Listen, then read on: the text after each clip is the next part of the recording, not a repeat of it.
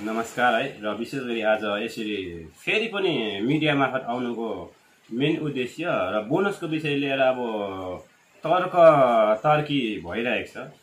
र एउटा कुरा भन्न चाहन्छु म विशेष गरी हामीले त्यस्तो कुरा त के भनेको थियौँ र आज उहाँले मलाई धम्कीपूर्ण एउटा स्टेटमेन्ट दिनुहुँदैछ। र विशेष गरी म त्यही भन्न चाहन्छु मालिक पक्ष र युनियन पक्षकोमा कुरा हुँदा हुँदै पनि मालिकले इन्स्टलमेन्टको कुरा गर्यो।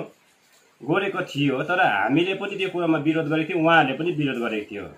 अब त्यति बेला एकदम सिचुएसन भाइटल भएको समयमा उठेर भन्ने त तपाईँ नै हो नि त। म नाम लिन चाहन्न तपाईँ नै हो नि त। फेरि सबैले विरोध गर्दाखेरि चाहिँ तपाईँको प्रेसिडेन्टले उठेर चाहिँ पन्ध्र पर्सेन्ट दसैँ अगाडि पाँच पर्सेन्ट तिहार पछाडि भने त म होइन नि त तपाईँहरूको हो नि त। यो त जनतालाई त सार्वजनिक भइसकेको छ नि त। आज तपाईँले अर्क- अरूको ग्रुपबाट फेसबुकको वाट्सएपको ग्रुपबाट त्यो भोइस मेसेज हेरेर स्टेटमेन्ट दिनु चाहिँ लाज मर्दै कुरा हो।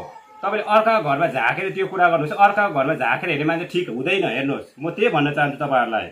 र आज तपाईँले पार्टी प्रेसिडेन्टले सोध्यो। पार्टी प्रेसिडेन्टलाई सोधे समष्टिकोहरूलाई सोधे शाखालाई सोधे सोधे भन्नुहुन्छ।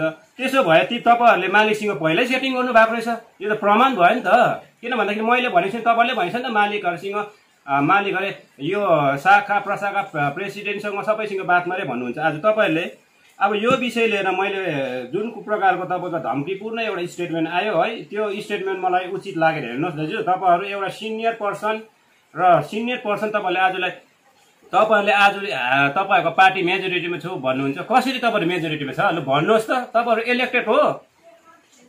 तपाईँहरूको छ महिनाको रिचार्जमा चल्ने पार्टीले आज हामी सत्तामा छु भन्दा हुन्छ। आज मेजोरिटीको कुरा तपाईँहरूले गर्नुहुन्छ।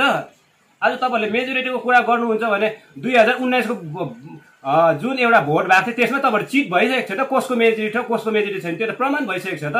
त्यसरी धम्कीपूर्ण तपाईँले स्टेटमेन्ट दिनुभएको छ नि त्यो हामी त्यो धम्कीपूर्ण स्टेटमेन्टले हामीले तपाईँहरू ब्याकफुटमा जान्छु भन्ने सोच्दा हामी जाँदैनौँ हेर्नुहोस्। र म तपाईँहरूलाई एउटै कुरा भन्छु तपाईँहरूको पहिल्यैबाट सेटिङ भइसकेको थिएछ अब हामीले प्रमाण भयो। मैले बोलेको थिएँ तपाईँले बोल्नु भएको छ त्यो भिडियोलाई राम्रोसँगले हेर्नुहोस्। र जुन प्रकारको एउटा तपाईँहरूले अब मेजोरिटी पार्टी भनेर कुरा गर्नुहुन्छ हेर ठुलो ढाक नपिट्नुहोस् तपाईँहरूले तपाईँहरू मेजोरिटी पार्टी भने तपाईँहरू मेजोरिटी पार्टी भएको भए आज बिस पर्सेन्ट किन दिलाउनु सक्नु भने तपाईँले एकैचोटि? मेरो प्रश्न छ तपाईँहरूलाई आज जोइन्ट फोरमले गेट मिटिङ गर्छ भने तपाईँहरू किन डराउनु भएको? लु भन्नुहोस् त तपाईँहरूले आज डराउनु किन भएको तपाईँहरूलाई फेरि भन्छु किन डराउनु भएको तपाईँहरू आज? तपाईँलाई म त्यही भन्न चाहन्छु। हेर्नुहोस् तपाईँहरूले जुन प्रकारको सोच जुन प्रकार विचार लिएर राजनीति गर्नु हुँदैछ तपाईँले भन्नुहुन्छ तपाईँले नयाँ सोच नयाँ विचार। यो यो नयाँ सोच नयाँ विचार नयाँ विचार आज नाम तोकेर धम्काउने र आज तपाईँले कुनै पार्टीको सङ्गठनको ग्रुपको भोइस म्यासेज हेरेर यसरी प्रेस स्टेटमेन्ट दिनु त उचित होइन। होला। त्यो कुरा भएको छ होला वाट्सएपमा भएको छ होला तर त्यो अर्काको घरभित्र झाँकेर कुरा गर्दाखेरि त उचित हुँदैन होला जस्तो मलाई लाग्छ। तपाईँले औँलाएर चाहिँ औँलाएर मान्छेको नाम तोकेर जुन प्रकारको स्टेटमेन्ट दिनुहुन्छ नि जनतालाई सार्वजनिक भइसकेको छ। र भोलिको दिनमा तपाईँहरूले जुन प्रकारको एउटा स्टेटमेन्ट दिनुभएको छ त्यो स्टेटमेन्टको फेरि फेरि तपाईँहरूलाई म त्यही भन्न चाहन्छु कि तपाईँहरूले आफूले दिएको स्टेटमेन्ट हेर्नुहोस् र स्टेटमेन्ट हेरेपछि हेरेपछि तपाईँले भन्नुहोस् कि त्यति बेला तपाईँले जुन कुराहरू गर्नुभएको छ त्यो कुरालाई आफैले नै स्टडी गरेर मात्रै बोल्नुहोस् हेर्नुहोस्। र धम्की दिने काम नगर्नुहोस्। पहिला दुई हजार दुई हजार नौदेखिको उताको जिएनले भएन हामी। बुझ्नुभयो तपाईँहरूले जुन प्रकारले तपाईँहरूले गर्नुभएको थियो नि त्यो प्रकारको जेनेले भएन हामी। तर आज तपाईँले भन्नुहुन्छ घाँसको बुट्टा देख्नु नसक्ने मान्छेहरूले ट्रेड युनियनको कुरा गर्नु हुँदैछ बुट्टा नदेख तपाईँले पो घाँसको बुट्टा देख्नु भएको छैन। म त चियाबारीमा एउटा श्रमिक भएर काम गर्छु म चियाबारीको मारेबुङ चियाबारीमा एउटा श्रमिक भएर काम गर्छु। प्र्याक्टिकल कुरा मलाई थाहा छ र श्रमिकको दुःख मलाई थाहा छ। तपाईँहरू जस्तो गाडीमा हिँडेर त्यो भाषण खालि गरेर हिँड्ने म होइन। बुझ्नुभयो तपाईँहरूले? आज नऔलाउनुहोस् त्यसरी।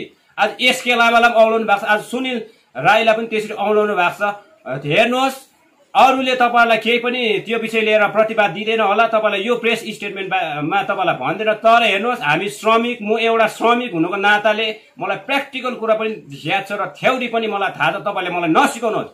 मैले पनि ट्रेड युनियन गरेको सोह्र वर्ष भयो। र म फेरि पनि भन्न चाहन्छु तपाईँहरूलाई कि हाम्रो माग बिस पर्सेन्ट हो बिस पर्सेन्ट हाम्रो माग हो र बिस पर्सेन्ट पास भयो। त्यसमा हाम्रो विरोध छैन र हामीले यो इन्स्टलमेन्टको कुरालाई प्रोटेस्ट गरेका छौँ र फेरि पनि म यहाँबाट भन्न चाहन्छु कि तपाईँलाई तपाईँहरूलाई भन्नु चाहन्छु कि म म हामी जिएनएलएफ दुई हजार नौको जिएनएलएफ होइन है साथी हौ। अलिकति तपाईँहरूले स्टेटमेन्ट दिँदा त्यसरी धम्कीपूर्ण स्टेटमेन्टहरू नदिनुहोस् नि फेरि। हामी पनि जान्दैछौँ र मेजोरिटीको कुरा गर्नुहुन्छ भने हामी एक दिन तपाईँहरूलाई देखाइदिन्छौँ।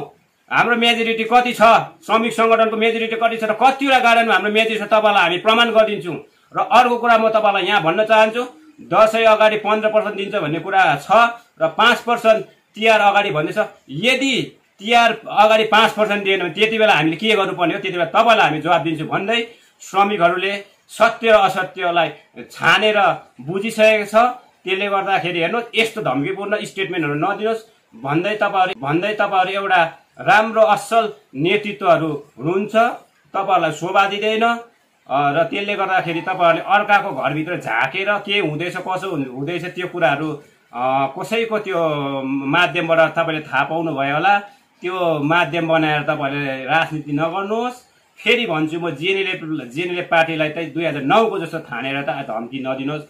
भन्दै श्रमिकहरूको हक र अधिकारको निम्ति जोइन फरम साथसाथै एसपिडब्ल्यू सदैव श्रमिकहरूको हित र अधिकारको निम्ति लड्नेछ भन्दै तपाईँहरूबाट फेरि बिदा लिन चाहन्छु। र तपाईँहरूबाट केही भोलिको दिनमा सबै सबैलाई पहिलाबाट नै दसैँको शुभकामना टक्राउँदै तपाईँहरू बिदा लिन चाहन्छु। जय गोर्खा जय श्रमिक।